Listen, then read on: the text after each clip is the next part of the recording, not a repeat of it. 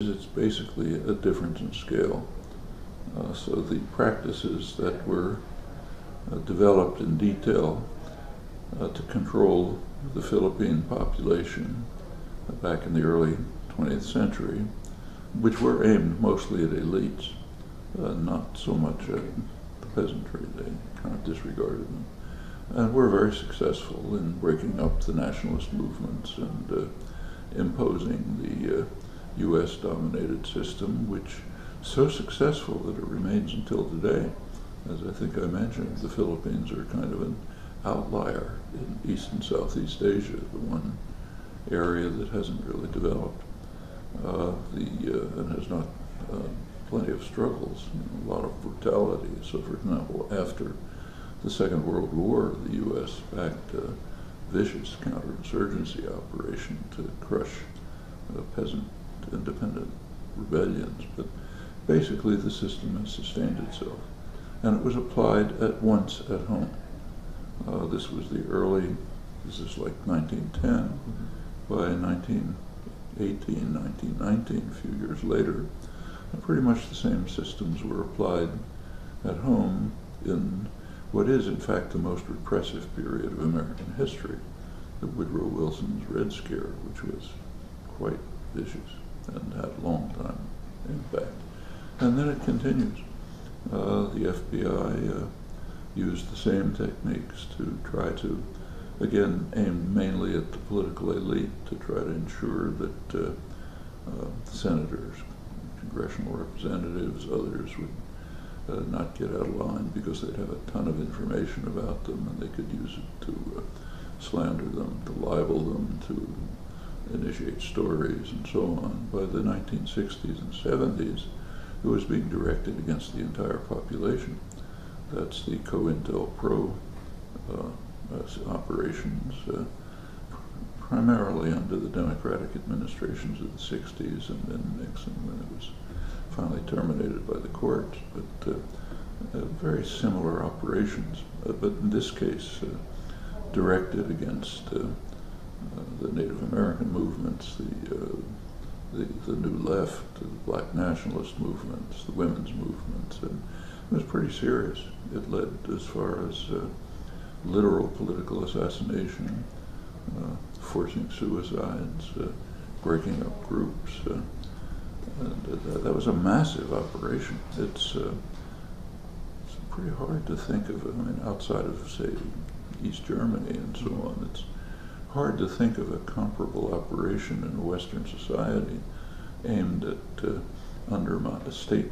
And it's the state, it's the national political police, that's what the FBI is, mm-hmm. under executive orders, uh, trying to break up and disrupt uh, popular activism, which was quite a significant force in the 60s and early 70s, and had substantial success. Uh, this uh, now takes it up uh, on a broader scale. But this is the kind of thing you'd expect a system of power to do. The more information they have about people, uh, the better able they are, at least think they are, to uh, control and monitor and undermine them if necessary. So that's also the, the, the you think uh, power can exist. So th- there is this idea that uh, information is power, and your activism uh, is very linked to this idea that you have to empower people by providing them accurate information on the world and in the different structures of power.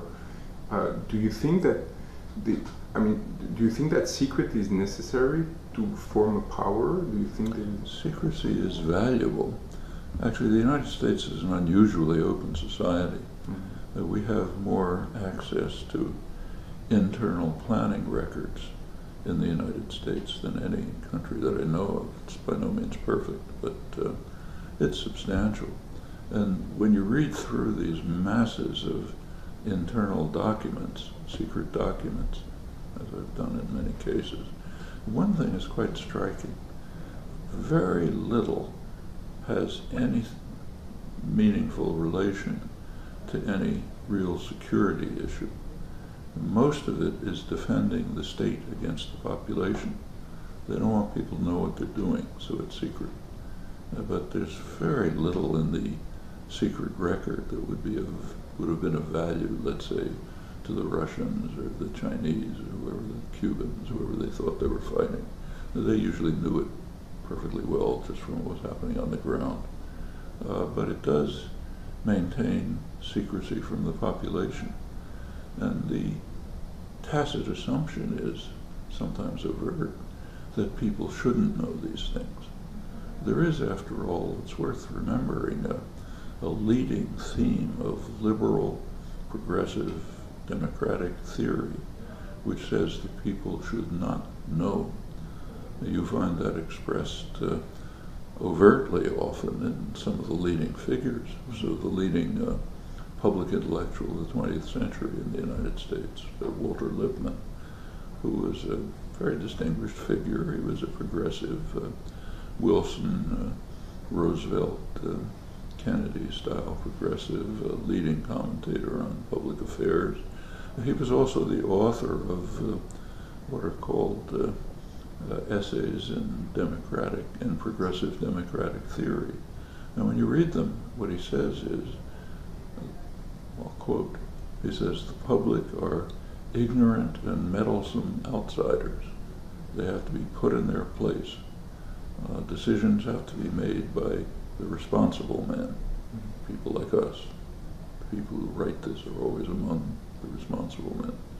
Uh, the uh, we and we, the responsible men, have to be protected from the trampling and the roar of the bewildered herd, the ignorant and meddlesome outsiders, uh, and uh, the the job of uh, what he called manufacturing consent. We, I borrowed his term for a book, but his. The job of manufacturing consent is to ensure that the public is marginalized, put in their place. His phrase. They can be spectators, but not participants. They do have a role in a political system.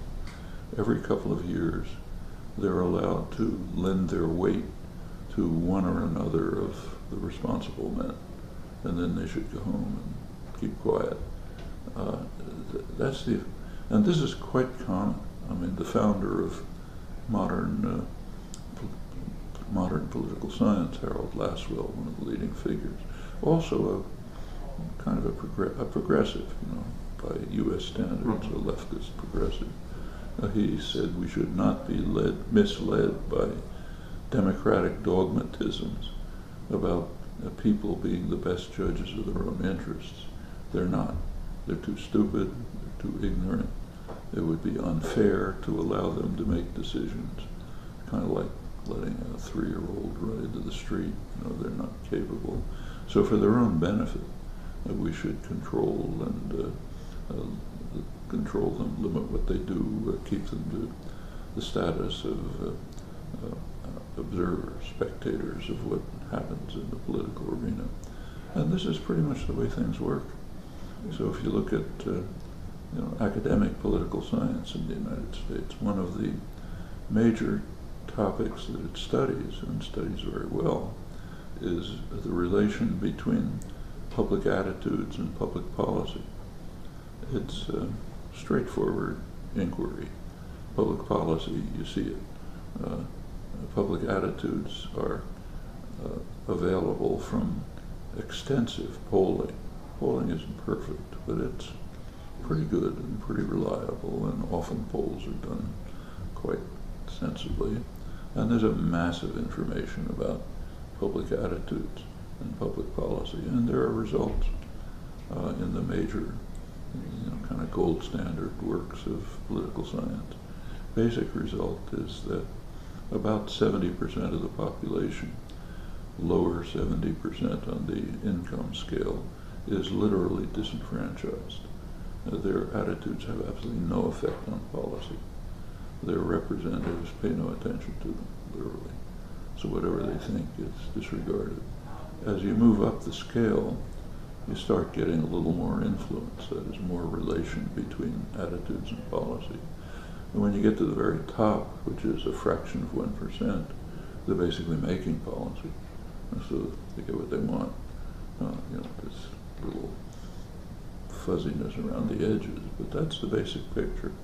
Uh, just recently, there was a study by uh, released by Princeton University, which got a little publicity, two leading political scientists who've worked on these things for years investigated, I think, about 1,700 major public policy decisions to investigate who had influence.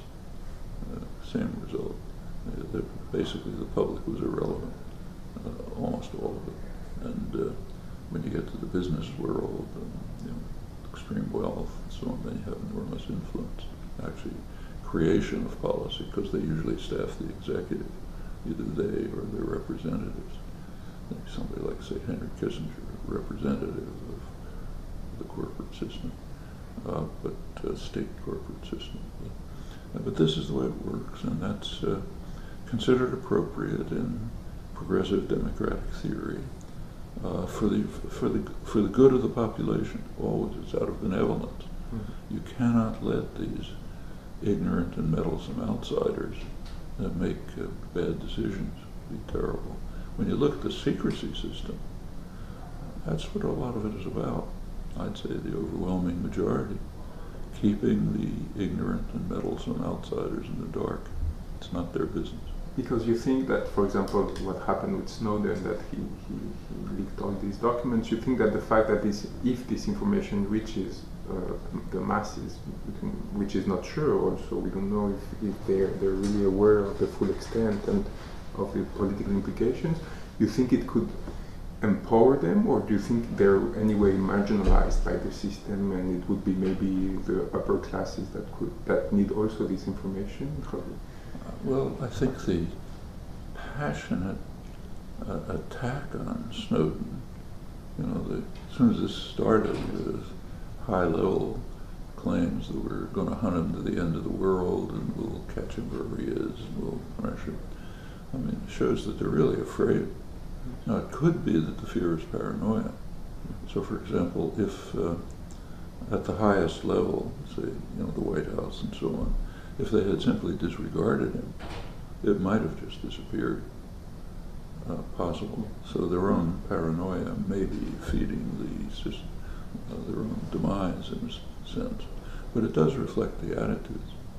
Uh, how much effect it can have, well, we're not sure. So, for example, there were effects.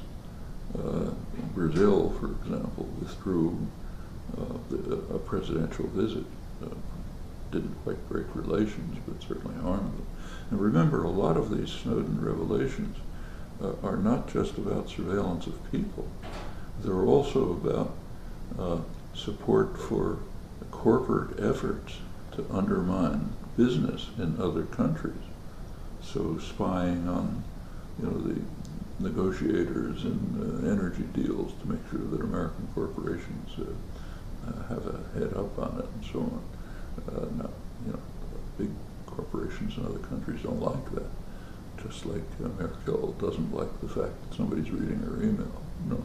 But uh, powerful people and powerful institutions are being harmed sufficiently so that there was a reaction uh, Congress did start to get concerned when it turned out that uh, the uh, the Senate committees responsible for this were being spied on. Uh, uh, I should say there's absolutely nothing new about this. So, for example, you go back to the foundation of the United Nations. It was uh, there was a conference in San Francisco. I think it was 1947, which established the United Nations. Well, it turned out pretty soon that uh, they discovered that the FBI had been bugging the offices of the foreign delegations so that American negotiators could have a step up on trying to get what they wanted. Uh, you know, it, it's a huge fuss made when the Russians do this to the American embassy, of course, but it's done all the time. At this geopolitical scale, I had a question uh, coming back to what you said about Philippines and the fact that well, the, the, the, strategy put in place by the US has still effects more than 100 years later. How, how can we explain that uh, Latin America has been one of the strongest, uh, has had one of the strongest reactions to all these mass surveillance, whereas we know that the US has always has a very... Actually, it's a very, it's a very significant phenomenon. really historic significance. Uh, for 500 years, the Latin America had been pretty much in the hands of foreign powers and uh, uh, elite, mostly white elites, tiny elites inside Latin America who accumulated enormous wealth and huge, horrendous poverty and basically rich societies, and always with uh, under under the hands of the imperial powers. Uh, for a long time it was England, and last century or so it's the United States. Uh, Latin America was so taken for granted in U.S. planning that they really hardly even had plans for. Uh, so there were some. So, for example, in 1945, when the U.S. was beginning the organization of the world at the end of the Second World War, the U.S. did call a hemispheric conference uh, in Mexico, uh, and the Latin American states came, and the United States imposed, at that point, the U.S. could actually impose what it wanted, imposed what was called an economic charter for the Americas which banned economic nationalism in all its forms. Uh, the Latin American countries had to follow, had to be completely open societies, which of course, in, in fact, meant open to U.S. penetration and control. It wasn't reciprocal. Mm-hmm. and incidentally, the U.S. itself did not accept these principles.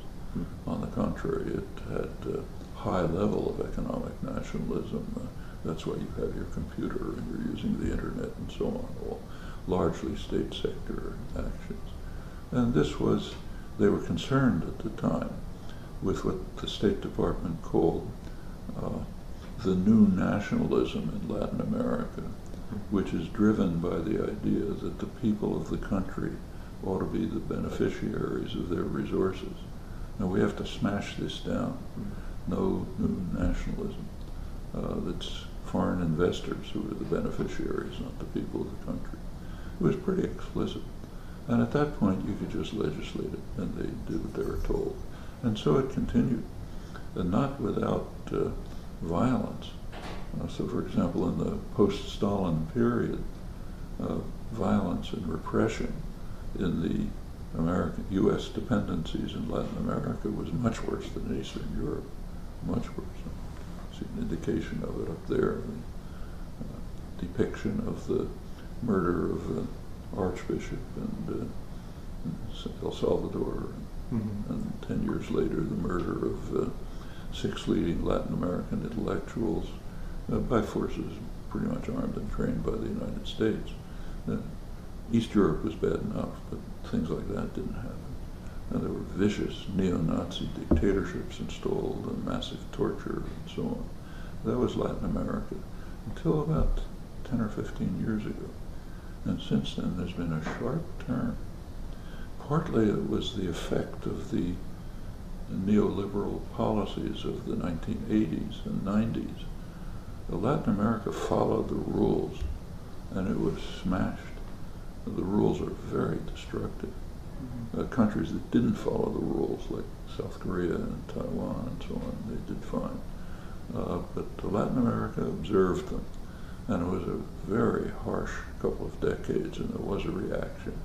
There was also finally a reaction to the U.S. backed or sometimes U.S. imposed dictatorships. And, uh, it, and, for a variety of reasons in the last roughly decade, you know, 20 years maybe, Latin America has, for the first time in its history, moved towards, uh, first of all, integration, some degree of integration of the countries. They were very separate from one another, and a degree of independence. And it's pretty remarkable. Uh, what you describe here in the NSA is one example, but there are many others.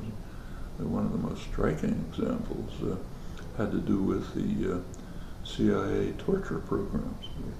The worst torture programs by far were what was called extraordinary rendition.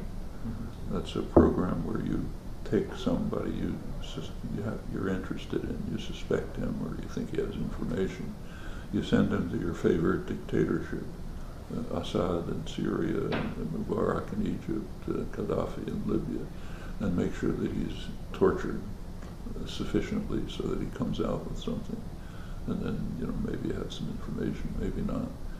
Uh, there was a study recently, about a year ago, of the countries that participated in extraordinary rendition. Most of Europe, England, Sweden, all participated, probably Italy, I don't remember. Uh, the Middle East, of course, because that's where you sent them to be tortured, and most of the rest of the world. One exception no participation from Latin America, which is doubly significant. First of all, because Latin America used to be the backyard, they did what they were told.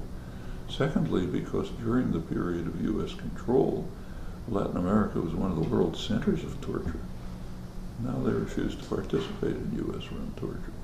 It's pretty significant. Even Colombia? Even Colombia.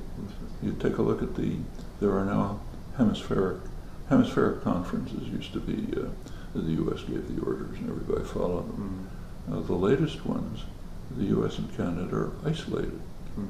Uh, it's Latin America against the U.S. and Canada. Uh, and there's already organizations formed CELAC, which uh, exclude North America, mm. just the Latin American, Caribbean countries. Uh, that's a remarkable change. And uh, the U.S. has simply lost control of the region. And it's interesting for a European because, on the contrary, I, I mean, it's maybe a perception that we see Europe on like, like down every, every time getting yeah. getting more. Uh, Europe is becoming Latin Americanized. It's very. It, it, was pretty dramatic with the case of the Morales Plane. This is Bolivia, mm-hmm. poorest country in, mm-hmm. in the hemisphere outside of Haiti, uh, a, a, country with, a, with indigenous majority. Mm-hmm. The president went to Russia, talked to Snowden, flew back The European countries are so terrified of the United States that they wouldn't let them cross their airspace. Um, they're cowering in terror of the Europeans because the master might be angry at them. Meanwhile, Latin America, the poorest country in South America, is defined the United States. It's pretty remarkable. It's very troubling also. it should tell Europeans something yes. about their cowardice. That's and yeah, especially since we come from, I mean, there was a period, and during the, um, because you can understand that in the Cold War, there, there could be a, a, a, like a legitimizing, I mean, could legitimize the, the influence of the US, but it's, for example, in France, it's especially since the end of the Cold War that there's been this alignment, like they entered NATO without, and it's difficult to understand what happened actually. What what was the, well, the treatment? First of all, during the Cold War, uh, remember that part of the reason for NATO, significant part, was to keep Europe under control. Mm. Uh, the, uh, uh, as long as you had NATO, Europe's dependent on the United States. And efforts to move in an independent direction, which did exist, de Gaulle, uh, Willy Brandt, Ostpolitik, others, were very much feared in the United States. Uh, there was fear of what was called a third force. You know, Russia, the United States, and Europe would become a third independent force, which it could have. Europe's population is bigger than the United States, and advanced industrial societies, uh, in many ways more advanced than the United States. Uh, if, they, if Europe wanted to, it could become an independent force, and the U.S. didn't want that. And that's, I think, a large part of the reason why NATO remains and is even expanding, though there's no Russian threat. They can try to concoct one, but it's ludicrous. Uh, it's uh, uh, you know, partly to just keep Europe under control. So yes, there was you know pressure to. You could imagine uh, the effectiveness of propaganda about legitimizing U.S. influence, but if you look into it, it's pretty shaky. But what's happened since? I'm going to say take France. Uh, France is quite interesting. Uh, until the 1970s, the French intellectuals were the last Stalinists in the world. Fanatic Stalinists and Maoists. I mean, nobody in the world in the West believed any of this, but they were still mouthing all the slogans. I remember mm-hmm. giving talks in France. I couldn't believe what I was hearing talking to the leading French intellectuals about the genius Mao and so on and so forth. In the mid 70s, this radically changed. Uh, as far as I can tell, it changed.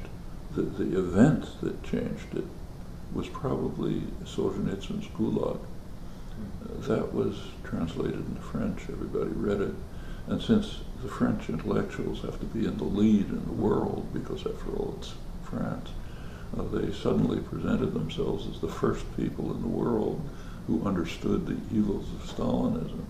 And these great intellectuals were writing articles uh, with great uh, you know, self-praise about things that I knew when I was 10 years old, because everybody knew them. Uh, and uh, but I mean, there were obviously factors behind it, but there was a shift among the intellectual classes from a weird form of Stalinism, Third Worldism, Maoism, and so on. Not everyone, of course, but you know, substantial part, to becoming the most reactionary uh, uh, sector of the Western intellectuals, and of course praising themselves for their magnificence and discovering what everybody always knew. You know, mm-hmm. in fact, it's kind of comical when you look at the predictions, uh, and it continues like that. It's a very strange. There's this kind of a strain of hysteria in the culture, which is interesting to investigate. I think a lot of the uh, postmodern, sometimes say excesses, uh, grow out of that. But uh, and you had similar things happening in the other countries. Uh, what the reasons are, well, interesting to investigate, but the tendencies are clear. I, I wanted to to ask you about uh, coming back to this question of uh, we talked yesterday also about the way I mean can we resist legally or do we have to resist legally or, or, or and there is a question for example secret services escape by nature to the public scrutiny and in, to, in a way is it possible to control them like through democratic means? I mean, do, the secret services. Yes, there's like a contradiction between the yeah. democracy and, and well, it should be controlled, mm-hmm. and not just the secret services, but uh, things like say Gladio, uh, which is still largely secret. Mm-hmm. I mean, some bits and pieces of it have come out. It did appear to be involved in the neo-fascist uh, terror in Italy and in the 70s and so on, probably other things. There's not much research. Daniel Ganser in Switzerland is one of the few researchers. But that doesn't, should be publicly exposed and under public control. Uh, and the same with the Secret Services. Uh, in the United States, after the NSA exposures, there were some measures passed in Congress to limit or restrict uh, the right of the executive to, say, spy on uh, uh, Americans, but very limited. Uh, but that's really a question of public pressure. If there's enough, it can be eliminated.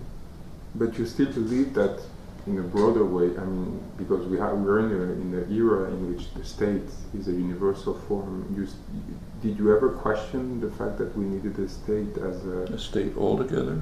Yes, like or or at the national or just at the national level. I've been uh, all my life. That's why mm-hmm. since uh, childhood I've been very much attracted by anarchist ideas. I, uh, the, na- the nation state is not uh, some kind of universal property. Mm-hmm. It's a special construction, mainly in Europe, spread over the world with European imperialism and settlement. Uh, and it's uh, in many ways a very destructive system. So take uh, take the Middle East, which is falling apart and raging chaos. Largely, this is uh, a long-term effect of the imposition of a nation-state system by the European imperial powers, mostly England and France, mm-hmm uh, for their own interests, not for the interests of the people. So take, say, Iraq. Mm-hmm. Iraq was patched together by the British uh, in, after the Second World War, First World War, when they were kind of parceling out the former Ottoman Empire. It was put together in such a way as to the boundaries were drawn by Britain to ensure that England, not Turkey, would have control of the uh, oil fields uh, near the Turkish border. And uh, Kuwait was established as a British run principality primarily in order to bar Iraq's free access uh, to the sea. So, mechanism control. And that put together uh, Shiites, uh, Sunnis, Kurds, uh, other minorities, Turkmen, uh, who weren't particularly hostile, but had basically nothing, not much to do with each other. This is done for imperial interest. The same was true of the French took Syria, and Lebanon, did the same thing. The British took Palestine for geostrategic reasons primarily. It was kind of like a cover of uh, the Bible, said this and that, but uh, and uh, uh, the whole region's in, in turmoil. And if you look around, take say, look at Africa, there's, there's violence everywhere. Almost all of it, when you look at it, has to do with the nation-state systems that were imposed by the European powers for their own interests, drawing lines that uh, broke uh, tribes in half, let's say, and putting people together who were hostile. You know. Yeah. Or take, say, uh, Pakistan and Afghanistan. Uh, the British, during the days when they ruled India, uh, drew a line, the Durand Line, for their interests. That was going to be British India, separate from the rest. The Durand Line ha- happens, it now separates Pakistan from Afghanistan. It cuts right through the Pashtun territories right through. Some of them are in Pakistan, some are in Afghanistan. Uh, when a tribesman, uh, uh, say, goes from Pakistan to Afghanistan to visit, you know, visit relatives, Mhm. uh, we can uh, call it a terrorist attack and send drones to kill them. But from their point of view, it's uh, that's their country. Uh, imperial powers broke it in half. In fact, the same is true of the U.S. and Mexico. Uh, the U.S. conquered about half of Mexico in a brutal war of aggression in the mid-19th century. Uh, the border was pretty artificial. The same people lived on both sides. It was a very permeable border. Uh, all kinds of developments, but uh, it wasn't until pretty recently, late 80s, 1990s, that the border started to get militarized. And the militarization of the border, in fact, uh, took a big step forward when NAFTA was enacted. 1994, when Clinton rammed through NAFTA over public opposition. Mhm. Uh, he also started militarizing the border uh, because uh, planners could easily understand that uh, NAFTA is going to create uh, a huge number of refugees in Mexico. The Mexican campesinos can be quite efficient, but they can't compete with uh, highly subsidized U.S. agribusiness. And uh, the same is true more generally. So you're going to get a flow of refugees. You have to militarize the border. Now, big issue, people crossing the border, uh, shoot them, send them back, and so on. Uh, and this is all over the world. So there's nothing natural about the nation-state system. I mean, you can see how unnatural it is by looking at European history. The centuries during which this system was imposed uh, were the most, some of the most savage centuries in human history. I mean, the Thirty Years' War, and maybe a third of the population of Germany was slaughtered. Uh, this is all part of imposing nation-state systems. And finally, in 1945, the Europeans did recognize that the next time they play their favorite game of slaughtering each other, it's going to be the end. Uh, so Europe did finally move towards some kind of integration, which began to somewhat erode the the, the nation-state uh, borders, which are generally pretty artificial. And I, think it's a positive direction, should take place elsewhere in the world. But at the same time, it, it uh, creates an even uh, uh, more important distance between the people who are supposed because your your your thoughts are always about this relationship of power between power, established power, and, and society.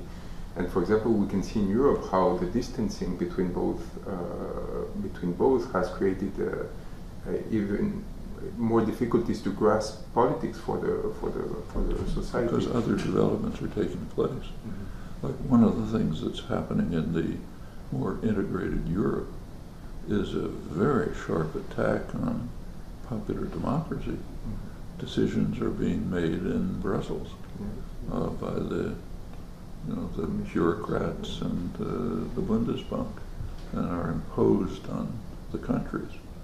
Uh, when uh, Monti was elected in Italy, the population had almost nothing to do with it. It came from Brussels. When the Greek uh, Prime Minister Papandreou had the effrontery to suggest that there, that you might ask the population, do they want the palace policies? There was fury all over Europe. How dare you ask the population? This is decided by the responsible men in Brussels. You know? And uh, I mean, even the Wall Street Journal had an article uh, pointing out that no matter what political party took power in, in Europe, right to left, they always followed the same policies. Uh, because they're, com- they're not coming from the country. So that's another tendency. Uh, things don't happen just